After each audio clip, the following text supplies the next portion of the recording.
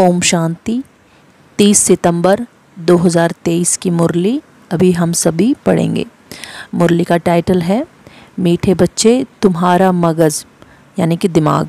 खुशी से सदा भरपूर होना चाहिए, क्योंकि तुम अभी बाप के समान मास्टर नॉलेजफुल बने हो।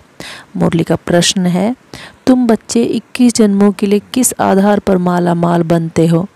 उत्तर है, संगम पर तुम डायरेक्ट बाप को अपना सब कुछ देते हो, सब बाप के हवाले कर देते हो। इसके रिटर्न में तुम 21 जन्मों के लिए माला माल बन जाते हो। बाबा कहते, इस समय तुम्हारे पास जो कूड़ा किचड़ा है, वह मुझे दे दो। मरने के पहले अपना सब कुछ ट्रांसफ़र कर दो तो भविष्य में उसका रिटर्न मिल जाएगा। मुरली में गीत है, ओम नमो शिवाय। अभी हम धारणा के लिए मुख्य सार पढ़ेंगे।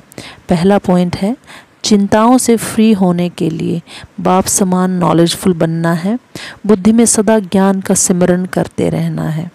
दूसरा पॉइंट रूहानी सर्विस कर अपनी प्रालब्ध बनानी है, पुराना सब कुछ ट्रांसफ़र कर देना है। मुरली का वरदान है सर्व प्रति शुभ कल्याण की भावना रख परिवर्तन करने वाले बेहद सेवाधारी भव। मेजोरिटी बच्चे बाप दादा के आगे अपनी यह आश रखते हैं कि हमारा फलाना संबंधी बदल जाए घर वाले साथी बन जाएँ, लेकिन सिर्फ़ उन आत्माओं को अपना समझ है आश रखते हो तो हद की दीवार के कारण आपकी शुभ कल्याण की भावना उन आत्माओं तक पहुँचते नहीं। बेहद के सेवाधारी, सर्वप्रति आत्मिक भाव व बेहद की आत्मिक दृष्टि भाई भाई के संबंध की वृत्ति से शुभ भावना रखते हैं। तो उसका फल अवश्य प्राप्त होता है। यही मनसा सेवा की यथार्थ विधि है। मूल्य में स्लोगन है, ज्ञान रूपी बाणों को बुद्धि रूपी तरकश में भरकर माया को ललकारने वाले ही महावीर योद्धे हैं।